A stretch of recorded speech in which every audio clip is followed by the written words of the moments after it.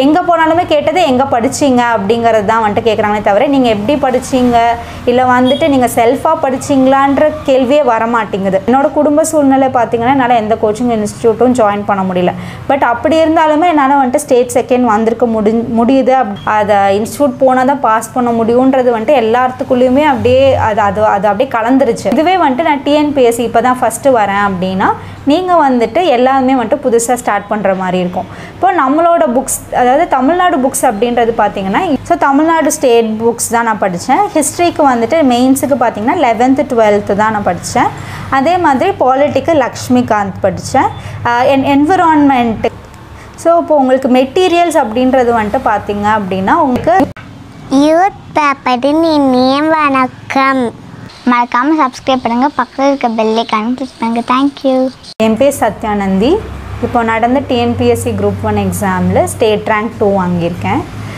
இப்போ வந்துட்டு எங்கள் ரிசல்ட் வந்ததுக்கப்புறம் குரூப் ஒன் நோட்டிஃபிகேஷன் வந்திருக்கு. ஸோ இப்போ ப்ரிலிம்ஸ் வந்துட்டு எப்படி ப்ரிப்பேர் பண்ணோம் அப்படி பண்ணலாம் அப்படின்னு சொல்லிட்டு கோச்சிங் ஜாயின் பண்ணலாமா வேணாமா அப்படின்னு சொல்லிட்டு நான் வந்துட்டு எங்கேயுமே கோச்சிங் ஜாயின் பண்ணலை.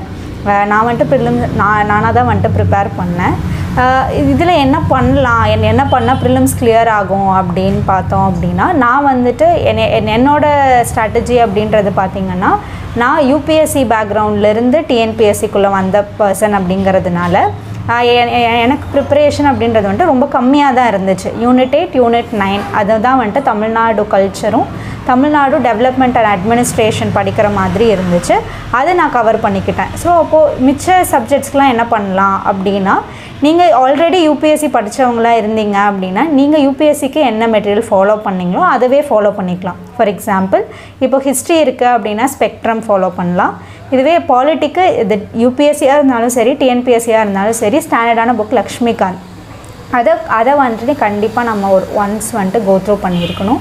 அது மட்டும் இல்லாமல் அது அது அது இல்லாமல் இருக்க சப்ஜெக்ட்ஸ்க்குமே வந்துட்டு நீங்கள் யூபிஎஸ்சி இதே ஃபாலோ பண்ணிக்கலாம். இதுவே வந்துட்டு நான் டிஎன்பிஎஸ்சி இப்போ தான் ஃபஸ்ட்டு வரேன் அப்படின்னா நீங்கள் வந்துட்டு எல்லாருமே வந்துட்டு புதுசாக ஸ்டார்ட் பண்ணுற மாதிரி இருக்கும். இப்போ நம்மளோட புக்ஸ் அதாவது தமிழ்நாடு புக்ஸ் அப்படின்றது பார்த்தீங்கன்னா யூபிஎஸ்சிக்கே ரெஃபர் பண்ணுற மாதிரி இருக்குது அப்போது நம்ம தமிழ்நாடு புக்ஸையே வந்து நம்ம என்ன பண்ணிக்கலாம் அப்படின்னா அதுவே நம்ம கம்ப்ளீட்டாக படிச்சுக்கலாம். மெயினாக வந்துட்டு ஹிஸ்ட்ரியை பொறுத்த வரைக்கும் லெவன்த்து டுவெல்த் கன்ஃபார்மாக படித்தே ஆகணும். சிக்ஸ்த்து டு டென்த்து நீங்கள் படிக்கிறீங்க அப்படின்னா அதில் செலக்டிவாக மட்டும் படிச்சுக்கோங்க மற்றபடி வந்துட்டு இதாக படிக்கணும் அப்படின்னு அவசியம் கிடையாது. ஆனால் லெவன்த்து டுவெல்த் கன்ஃபார்மாக படிச்சிருக்கணும். அதே மாதிரி பாலிட்டி ஸோ பாலிட்டியுமே வந்துட்டு நம்மளோட புக்ஸ்லேயே நல்லாவே கொடுத்துருக்காங்க. அதையும் படிச்சுட்டு லக்ஷ்மிகாந்த்ன்றது மேண்டேட்ரி எல்லாமே படிச்சுக்கோங்க. இப்போ யூனிட் எயிட் யூனிட் நைன் வரும்போது என்ன படிக்கலாம் அப்படின்ற ஒரு இது வரும். So unit eight unit nine அப்படின்றது நம்ம புக்ஸ்லேயே கவர் பண்ணியிருக்காங்க. உங்களால் முடிஞ்சது அப்படின்னா நீங்கள் அந்த புக்ஸையே வந்துட்டு படிச்சுட்டிங்கன்னா ப்ராப்ளம் இல்லை. இன்கேஸ் என்னால் படிக்க முடியல அப்படின்ற போது ஏதோ ஒரு மெட்டீரியல் உங்களுக்கு வந்துட்டு கிடைக்கும். ஸோ அந்த மெட்டீரியல் வந்துட்டு வாங்கி படிச்சுக்கலாம். இல்லை யூடியூப்லேயே வந்துட்டு உங்களுக்கு வீடியோஸ் நிறையாவே இருக்குது ஸோ அப்போ இந்த வீடியோஸ் பார்த்து வந்துட்டு படிச்சுக்கலாம். நான் எப்படி படித்தேன்னா இந்த வீடியோஸ் பார்த்து நோட்ஸ் எடுத்து அது அது வழியாக தான் படித்தேன் ஸோ என்னோட ப்ரிப்ரேஷன் படிக்கிறது அப்படின்றது வந்துட்டு ஒரு ஃபிஃப்டி பர்சன்ட் அப்படின்னா ப்ராக்டிஸ் பண்ணுறது அப்படிங்கிறது ஃபிஃப்டி பர்சன்ட் நான் வந்துட்டு எங்கெல்லாம் எனக்கு வந்துட்டு கொஷின்ஸ் கிடைக்குதோ அங்கே எல்லாமே வந்துட்டு நான் கொஷின்ஸ் வந்துட்டு ப்ரிப்பேர் நான் வந்துட்டு எடுத்து டெஸ்ட் எழுதுவேன்.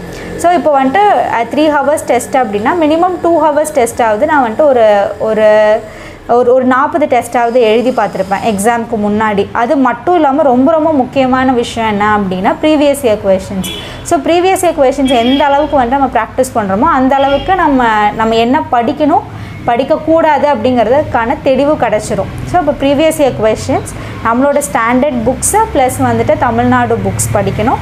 இதில் முக்கியமாக இன்னொரு விஷயம் என்ன அப்படின்னா ஆப்டிடியூட் ஸோ அதில் வந்துட்டு நீங்கள் எந்த அளவுக்கு உங்கள் மார்க்கை புஷ் பண்ணுறீங்களோ அந்த அளவுக்கு வந்துட்டு நம்மளோட ப்ரிலிம்ஸோட வெற்றி அப்படிங்கிறது புஷ் ஆகும். ஸோ அப்போது ஆப்டிடியூட் டெய்லியும் ப்ராக்டிஸ் பண்ணுங்கள் அதுவும் நம்ம ஸ்கூல் புக்ஸ் கொஷின்ஸ் படித்தாலே போதுமானது. ஸ்கூல் புக்ஸ்க்கான கொஷின்ஸ் ப்ரீவியஸ் இயர் கொஷின்ஸ் இது ரெண்டுமே படித்தாலே போதுமானது. இது எல்லாருமே என்ன பே இது பேசிக்காக கேட்குற கொஷின் என்னென்னா நீங்கள் எந்த இன்ஸ்டியூட்டில் படிச்சீங்க?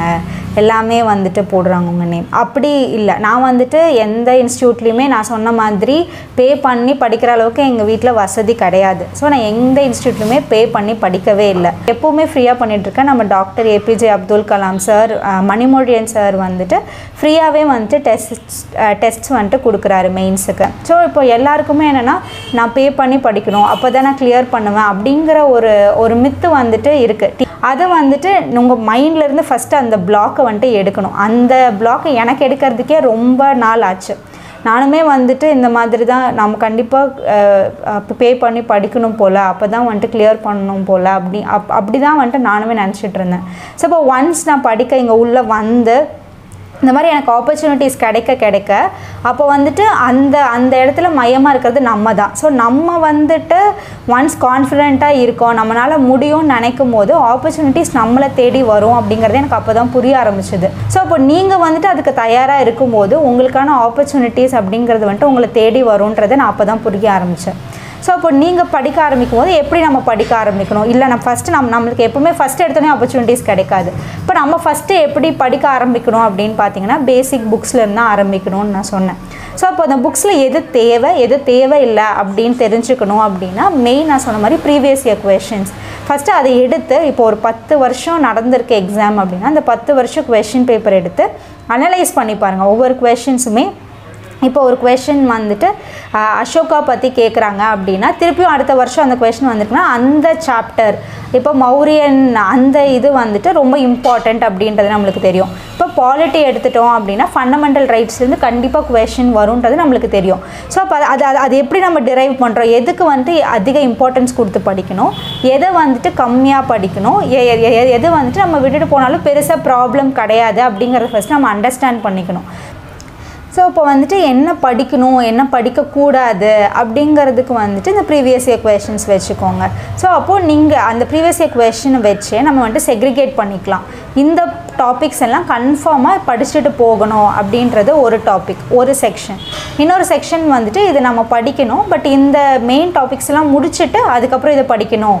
ஆனால் இது ப இது இது வந்துட்டு படிக்கணும் அப்படிங்கிறது செகண்ட் கேட்டகரி தேர்ட் கேட்டகரி வந்துட்டு இது நம்ம படித்தாலும் சரி படிக்கலனாலும் சரி பெருசாக எஃபெக்ட் ஆக போகிறது இல்லை மார்க்கு அப்படின்றது தேர்ட் கேட்டகரி ஸோ ஃபஸ்ட்டு நீங்கள் அந்த செக்ரிகேட் பண்ணி அதுக்கப்புறம் வந்துட்டு படிக்க ஆரம்பிங்க. அதுதான் வந்துட்டு நம்ம பண்ணக்கூடிய ஃபஸ்ட்டு ஸ்டெப் செகண்ட் ஸ்டெப் என்ன அப்படின்னா எல்லா ஆஸ்பிரன்ஸும் பண்ணக்கூடிய தப்பு என்ன அப்படின்னா படிக்கிறோன்றதில் தான் ஃபோக்கஸ் பண்ணுவோமே தவிர டெஸ்ட் எழுதுறதுக்கு வந்துட்டு நம்மளுக்கு இதே இருக்காது. நான் நான் வந்துட்டு ஒரு டெஸ்ட் எழுதணுன்னா நான் அந்த டெஸ்ட் எழுதுனா எனக்கு ஃபுல் மார்க் வர மாதிரி தான் நான் டெஸ்ட் எழுதுவேன்.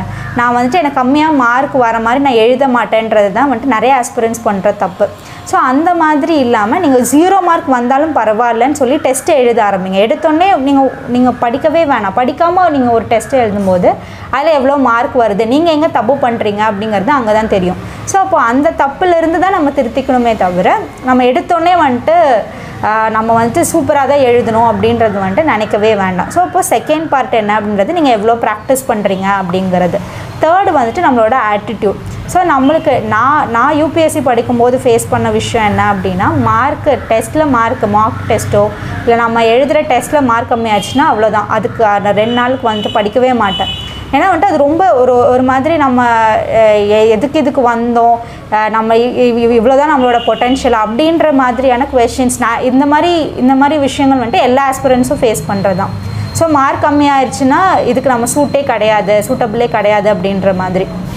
ஸோ அந்த ஒரு மைண்ட் பிளாக்கை நம்ம வந்துட்டு ஃபஸ்ட்டே நம்ம திருத்திக்கிட்டோம் அப்படின்னா நம்மளோட வெற்றி அப்படிங்கிறது வந்துட்டு ரொம்ப தூரம் இல்லாமல் நம்மக்கிட்டேயே வர ஆரம்பிச்சிடும் ஸோ இப்போ தேர்டு திங் என்ன அப்படின்னு பார்த்தீங்கன்னா நம்மளோட ஆட்டிடியூட் ஸோ எவ்வளோ மார்க் கம்மியாக வந்தாலும் பரவாயில்லன்னு சொல்லி நீங்கள் ப்ராக்டிஸ் பண்ண ஆரம்பிக்கணும். உங்கள் மைண்டை வந்துட்டு எப்போவுமே வந்துட்டு ஸ்டேபிளாக வச்சுக்கோங்க. அது வந்துட்டு மார்க் அதிகமாக வந்தால் நம்ம இது பண்ணிவிட்டு கம் நான் நம்ம வந்துட்டு கம்மியாக படிக்கணும் அப்படின்னும் இல்லாமல் கம்மியாக வந்துருச்சு அப்படின்னா ரொம்ப டிப்ரெஸ் ஆகாமையும் எப்படி வந்தாலுமே இது வெறும் மார்க்கு தான். இது வந்துட்டு நம்ம ப்ராக்டிஸ் தான் அப்படின்றது மைண்டில் வச்சுட்டு ஃபைனலாக நம்மளோட நான் நம்ம அங்கே போய் என்ன பண்ணுறோம் அப்படிங்கிறது தான் மெயின் அப்படின்றத மைண்டில் ஃபிக்ஸ் பண்ணி வச்சுக்கோங்க. அதை இன்ஸ்டியூட் போனால் தான் பாஸ் பண்ண முடியுன்றது வந்துட்டு எல்லாத்துக்குள்ளேயுமே அப்படியே அது அது அது அப்படியே கலந்துருச்சு.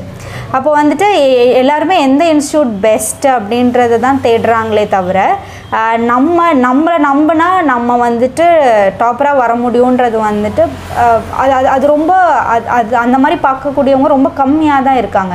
ஏன்னா நானுமே வந்துட்டு பார்த்திங்க அப்படின்னா நான் இப்போ டாப்பராக வந்ததுக்கப்புறம் எனக்கு நான் நான் இதை ஸ்ட்ராங்காக சொல்ல முடியும். ஏன்னா வந்துட்டு நான் இன்ஸ்டியூட்டில் படித்து வரல. நான் நான் செல்ஃபாக ப்ரிப்பேர் பண்ணி தான் வந்தேன் அப்படிங்கிறத வந்துட்டு ஸ்ட்ராங்காக சொல்ல முடியும். ஆனால் இந்த நம்பிக்கை வந்துட்டு நம்மளுக்கு ஃபஸ்ட்டே வந்துட்டு என்னால் முடியுன்ற அந்த நம்பிக்கையை வந்துட்டு விதைக்கிறது ரொம்ப கஷ்டமாக இருக்குது ஏன்னா எல்லாருக்குமே எங்கே போனாலுமே கேட்டது எங்கே படிச்சீங்க அப்படிங்கிறது தான் வந்துட்டு கேட்குறாங்களே தவிர நீங்கள் எப்படி படிச்சீங்க? இல்லை வந்துட்டு நீங்கள் செல்ஃபாக படிச்சீங்களான்ற கேள்வியே வரமா மாட்டேங்குது. ஸோ அப்போ நீங்கள் நீங்கள் வந்துட்டு ஒரு ஒன்ஸ் முடிவு பண்ணிட்டீங்க. என்- என்னோட குடும்ப சூழ்நிலை பார்த்தீங்கன்னா என்னால் எந்த கோச்சிங் இன்ஸ்டியூட்டும் ஜாயின் பண்ண முடியல.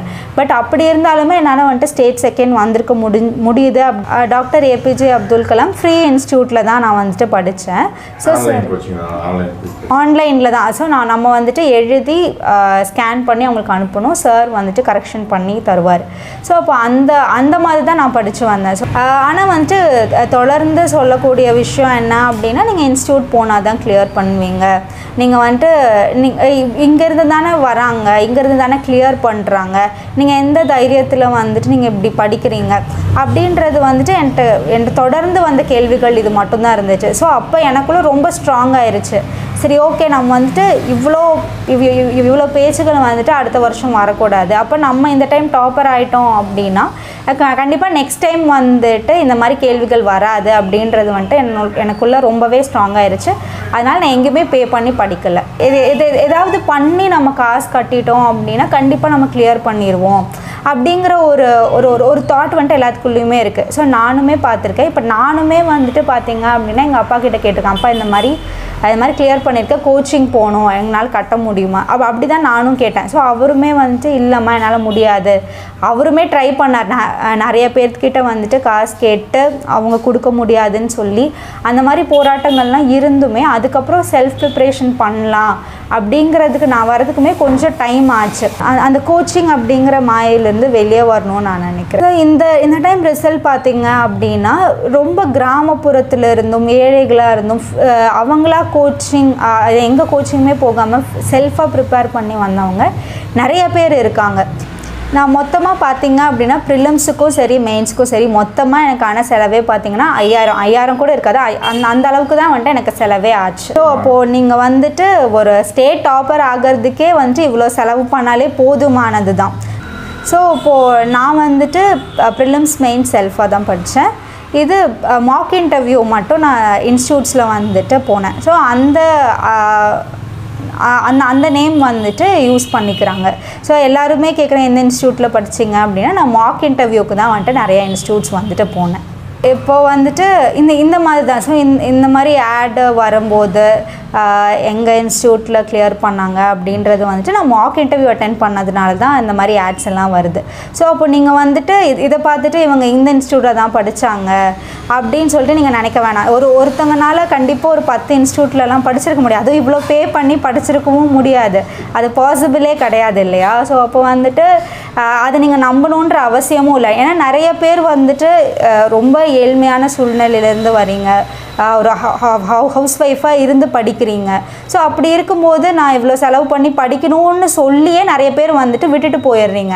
அந்த மாதிரி இருக்கணுன்ற அவசியமே கிடையாது. நான் வந்துட்டு செல்ஃபாக தான் படித்தேன் எங்கேயுமே பே பண்ணி நான் சொன்ன மாதிரி ஃபைவ் ஃபைவ் தௌசண்ட் கூட எனக்கு செலவாயிருக்காது. அப்படி இருக்கும்போது அப்படி இருக்கும்போது என்னால் டாப்பராக வர முடிஞ்சுது அப்படின்னா நிறைய பேர் என்னை விட அதிகமாக உழைப்பு போடுவேன் போடுவீங்க கான்ஃபிடென்ஸாக இருங்க. கான்ஃபிடென்ட்டாக இருங்க. கண்டிப்பாக நம்மளாலேயும் முடியும்.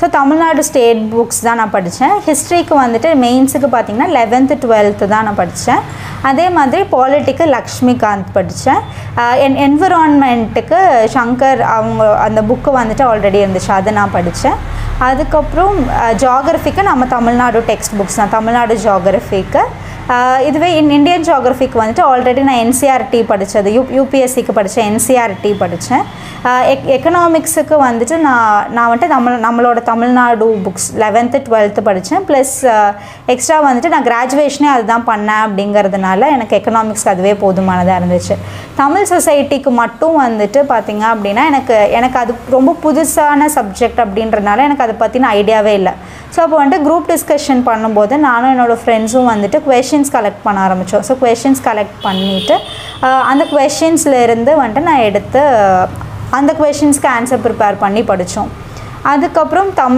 இது சொசைட்டிக்குமே வந்துட்டு புக்ஸ் தான். நார்மலாக நான் இது யூபிஎஸ்சிக்கு என்ன படித்தனோ அதுதான் வந்துட்டு படித்தேன் அதுக்கப்புறம் மேக்ஸுக்கு வந்துட்டு ஃபுல்லாக கம்ப்ளீட்டாக நம்மளோட சிக்ஸ்த்து டு டென்த்து புக்ஸு அந்த புக்ஸில் இருந்துக்க கொஷின்ஸ் தான் வந்துட்டு படித்தேன் அது மட்டும் இல்லாமல் ப்ரீவியஸ் இயர் கொஷின்ஸ் அது ப்ரிலிம்ஸோட கொஷின்ஸுக்கும் வந்துட்டு எப்படி நம்ம டெஸ்கிரிப்டிவாக எழுதணும் ஸ்டெப் பை ஸ்டெப் போட்டு எழுதணும் அப்படின்றத ப்ராக்டிஸ் பண்ணி வச்சுட்டேன். அப்புறம் மெயின்ஸ் போ போன டைம் கேட்டால் மெயின்ஸ் கொஷின்ஸையும் எடுத்து ப்ராக்டிஸ் பண்ணிக்கிட்டேன். ஸோ இப்போ உங்களுக்கு மெட்டீரியல்ஸ் அப்படின்றது வந்துட்டு பார்த்தீங்க அப்படின்னா உங்களுக்கு ரொம்ப ஃப்ரீயாகவே கிடைக்கும். எதுனாலுமே உங்களுக்கு வந்துட்டு மெட்டீரியல்ஸ்ன்றது ஃப்ரீயாகவே கிடைக்குது. இது மட்டும் இல்லாமல் நம்ம தமிழ்நாடு கவர்மெண்ட்டுமே வந்துட்டு அவங்களோட வெப்சைட்டில் இந்த டிஎன்பிஎஸ்சி குரூப் ஒன் சிலபஸுக்கு ஏற்ற மாதிரியே வந்துட்டு சிலபஸ் வைஸ் பிரித்து வந்துட்டு கொடுத்துருக்காங்க. அந்த uh, ஸோ அந்த வெப்சைட் பார்த்தீங்கன்னா uh, Tamil Nadu Tamil Nadu virtual academy அப்படின்னு சொல்லிட்டு அதில் நீங்கள் போய் லாகின் பண்ணிங்க அப்படின்னாலே uh, குரூப் ஒன்னுக்கு என்னெல்லாம் தேவையோ அதுக்கான அது சிலபஸ் வைஸே வந்துட்டு உங்களுக்கு நோட்ஸ் கொடுத்துருப்பாங்க. அந்த நோட்ஸ் மட்டுமே வந்துட்டு உங்களுக்கு பேஸ் வந்துட்டு கண்டிப்பாக கொடுத்துரும். அது மட்டும் இல்லாமல் கரண்ட் அஃபேர்ஸ் நீங்கள் டெய்லியும் நியூஸ் பேப்பர் படிக்கிறது வந்துட்டு அதுவே போதுமானது. ஸோ அது அதை வச்சே வந்துட்டு உங்களால் கண்டிப்பாக ப்ரிலிம்ஸ் மெயின்ஸ் வந்துட்டு கிளியர் பண்ணிட முடியும். இப்போ நீங்கள் இன்டர்வியூன்ற போது நீங்கள் மார்க் இன்டர்வியூஸ் அட்டன் பண்ணும்போதே கிளியர் பண்ணிடலாம் ஸோ நீங்கள் நினைக்கிற மாதிரி ஒரு ஒரு பெரிய விஷயம் அப்படின்றது வந்துட்டு கிடையாது டிஎன்பிஎஸ்சி பொறுத்த வரைக்கும். நம்மளுக்கு நம்பிக்கை இருக்கணும். அது அது மட்டும் இல்லாமல் விடாமுயற்சி இருக்கணும்.